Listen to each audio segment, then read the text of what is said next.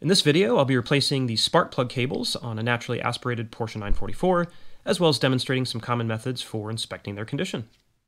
Some signs that you may have failing ignition cables include engine misfires or incomplete combustion, engine hesitation or rough idling, the engine running rich with black smoke visible from the exhaust, hard start and no start conditions, a noticeable decrease in fuel economy, as well as visible damage to the wire insulation.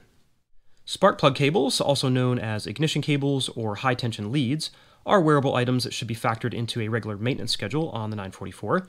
Prolonged exposure to engine heat and vibrations can cause the silicone rubber insulation to break down over time, so if you're experiencing any of the aforementioned issues, it's probably a good time to inspect the car's ignition cables.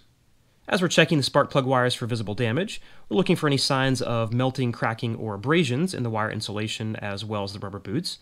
Cuts or breaks in the insulation can allow the voltage to jump to ground rather than jumping the gap at the end of the spark plug, which will diminish engine performance, and so those are signs that the plug wire should be replaced. It's a good idea to run the full length of each cable, twisting and flexing the material to check all surfaces, or you may need to remove them from their plastic retaining clips to get a clear view. Look out for any areas where the cables or boots may be resting against metal engine components, as burns and abrasions are more likely in those cases. In addition to visual inspections, there are a variety of ignition tester tools that can be used to test for no spark conditions. Most of these tools have a test lead that resembles the top of a spark plug and a clip that attaches to a metal grounding point. With one of the spark plug boots connected to the test lead and the grounding clip attached to a point in the engine, the tool can be adjusted to the desired test specification. From here, the engine can be started to assess the spark condition, repeating the test across all four ignition cables. Some of these tools also have test settings to gauge the voltage output, where the spark gap is increased to determine the intensity of the spark for each lead, and any observed variations in intensity would warrant further inspection or replacement of the affected ignition components. An ohm meter can also be used to perform some resistance tests to assess the internal condition of the leads.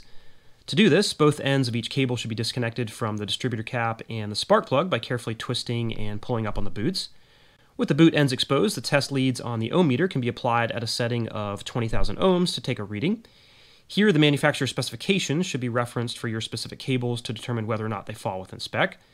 Generally speaking, spark plug cable resistance for spirocore or mag wiring is measured in ohms per foot, where a longer cable should display a higher resistance than a shorter one. But in the case of European ignition systems, resistorized plug ends are used to achieve a specific resistance value on each lead. To prevent radio frequency noise from interfering with the onboard electronic equipment on the 944, as well as to maximize fuel efficiency and engine power, the Bosch Motronic system requires a resistance of 3000 ohms per lead. Here's a list of the resistance specifications by manufacturer for some of the most common cable sets on the market today.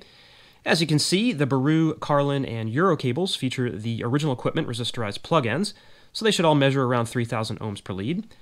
The Cluit and Magnecor cables read in ohms per foot, so you'll need to measure each cable in feet and multiply that value by the ohms per foot designation to arrive at the specification for each cable. When measuring resistance on a set of European ignition cables for the 944, each lead should have the exact same resistance of about 3000 ohms, plus or minus 10% of that value to indicate a healthy cable. So these Bosch Ultra Premium cables I pulled from the car should all measure between 2700 and 3300 ohms. Measurements in excess of plus or minus 20% of 3000 ohms would warrant replacement as being out of threshold, which will be less than 2400 ohms or greater than 3600 ohms. As for this set of cables, lead 1 measured in at 2990 ohms, lead 2 was 2950 ohms, lead 3 was 2630 ohms, and lead 4 was 2940 ohms. Since this set of cables is now well over 10 years old by all accounts, and the measurement on the third lead was a little concerning, I've got a new set of Beru cables here to replace them with. A new set of ignition cables will also include a new coil wire that connects the ignition coil to the distributor cap. If your coil still has the protective cover in place, you'll first need to remove the plastic cover from the top of the ignition coil, pull the output plug wire straight off the cap, and then the new cable can be installed and routed over to the center connection on the distributor. The spark plug cables can now be installed in the reverse of removal, where they route from shortest to longest across cylinders 1 through 4 from front to back.